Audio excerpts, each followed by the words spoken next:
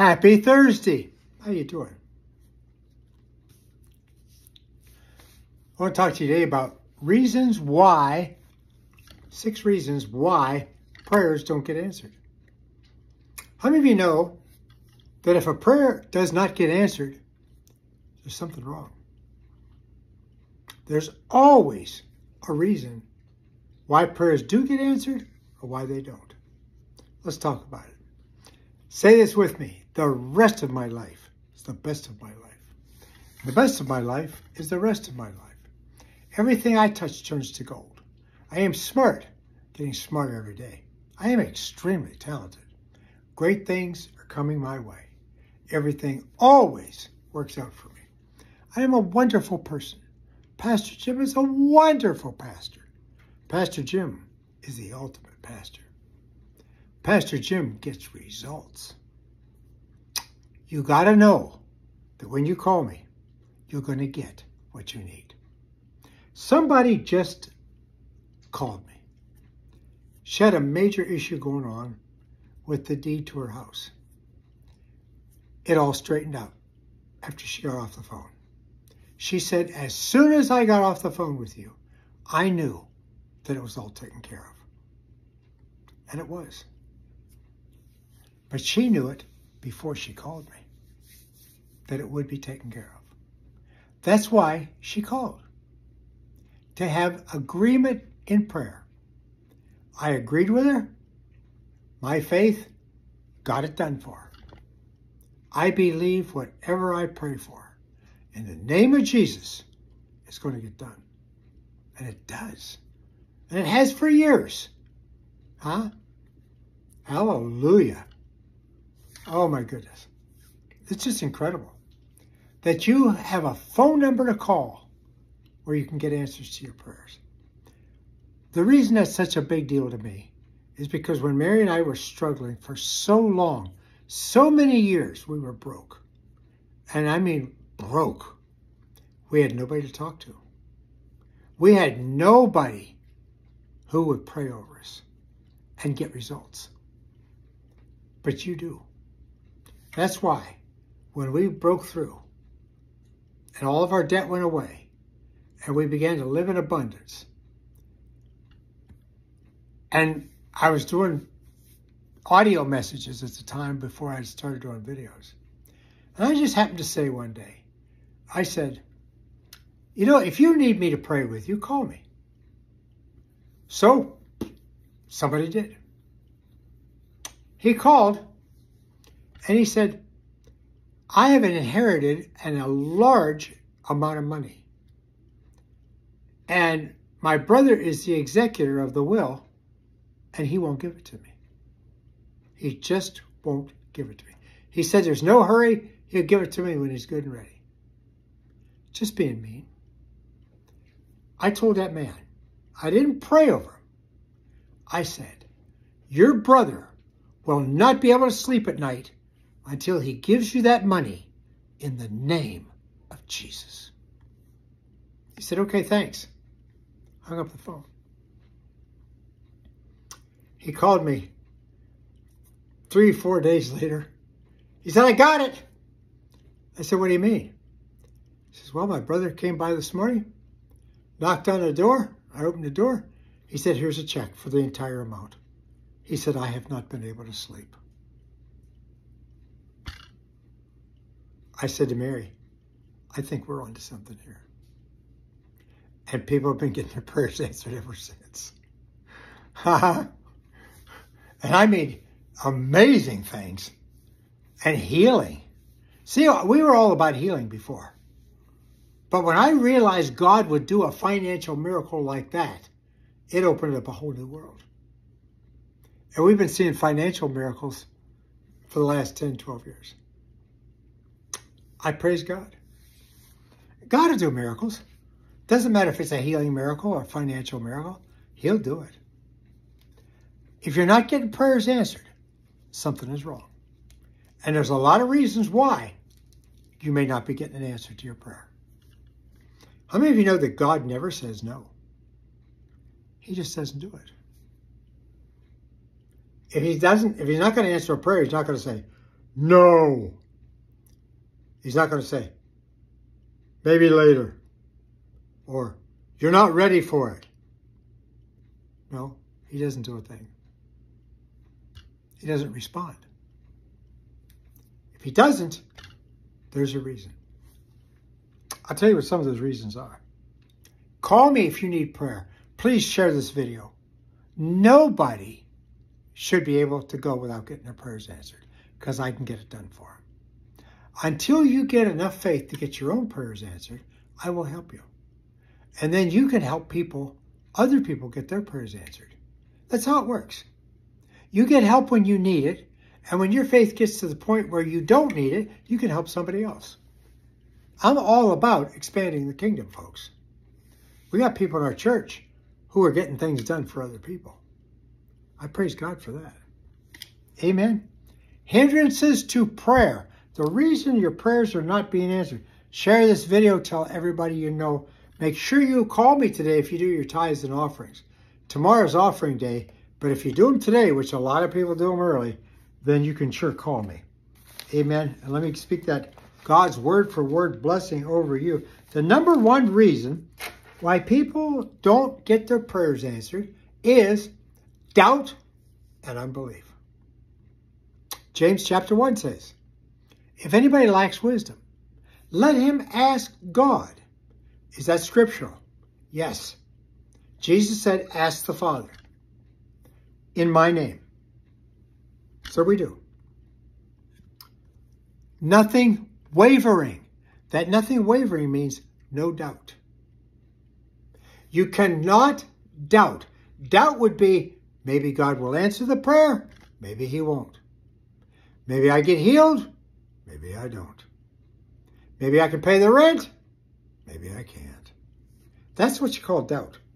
Doubt is the word duo, which means two different outcomes.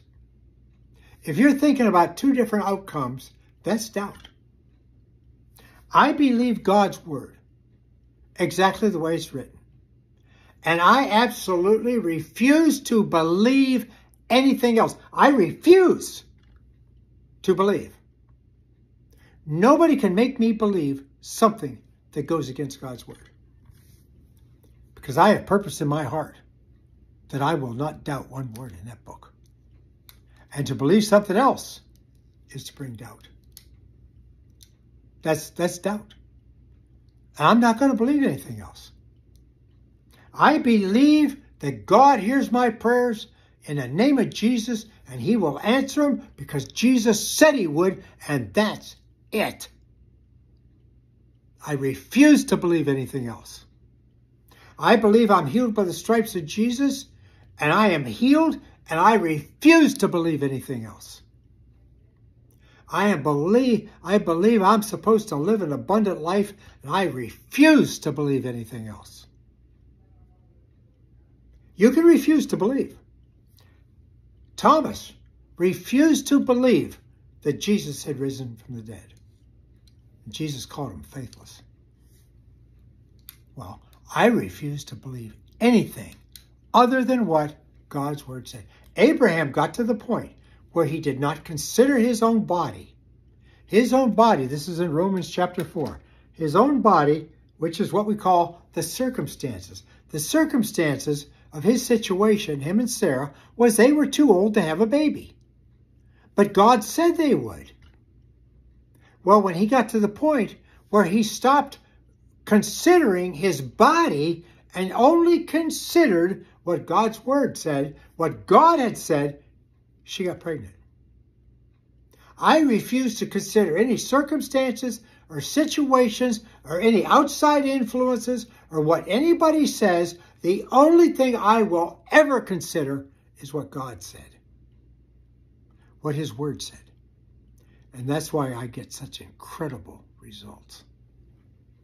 Because I refuse to believe. Jesus said, These signs shall follow them that have faith in my name. They shall lay hands on the sick and they will recover. I refuse to believe anything else. I refuse to believe anything else other than the fact that somebody is healed when I say so. You shall decree a thing, and it shall be done. It says in Job chapter 22, verse 28. That's all I believe. I believe that, and I refuse to believe anything else. The number one reason why prayers don't get answered is doubt and unbelief. And speaking it, that's the worst thing you can do. It's one thing to have doubt and unbelief. It's quite another thing to speak it. I wrote the book on speaking. The Power of Positive Word. Small book. The second most important book ever written besides the Bible. If you don't know what is in this book, God's Word, the Bible, will not work for you. That's a fact. Now, you might get saved, but you're going to still be sick and broke. But if you know what's in this book, I can get you taken care of. Even if you doubt, even if you don't believe that God's word is going to work in your life, keep your mouth shut. Don't be asking questions. Well, Pastor Jim, I remember 25 years ago when somebody spoke a curse over me. I don't consider that. All I consider is what God's word says. Well, Pastor Jim, everybody in my family has been sick. I don't consider that either. Well, Pastor Jim, everybody in my family's been broke. I don't consider that either. All I know is I said you're blessed and you're blessed because God's word says you're blessed. And once I speak it, I activate it. Just like God's word said, the priest shall activate the blessing. Numbers chapter 6. So I do. And I refuse to believe anything else other than the fact that that works. Somebody said to me one day, he says, you know, Pastor Jim, he says, you have really got strong, extraordinary faith. And I said, listen, the only difference between me and everybody else is I just believe what God said. I just believe it with all my heart and everything in me. I believe what he said. And I refuse to believe anything else. The number one thing that causes prayers to not get answered is people will pray and then say, I wonder if God's going to do that. Or they have doubt. Or they don't believe it in the first place. Most people who pray have no intentions of ever getting them answered. They just pray. Bible says pray without ceasing. I praise without ceasing. Mary and I praise the Lord all day long.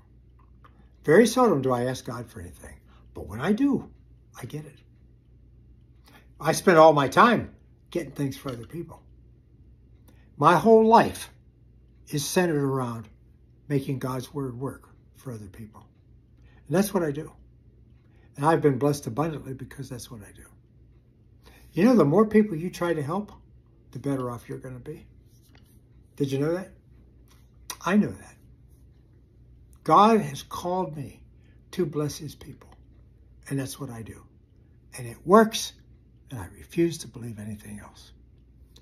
Get rid of the doubt and unbelief. You get rid of that by simply refusing to believe anything else. When I pray for you, when I speak over you, when you call me, refuse to believe anything other than the fact that God will give you what we ask for. And you will be blessed. Tell everybody you know about this video.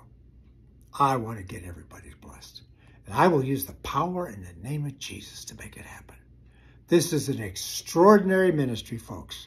Be part of.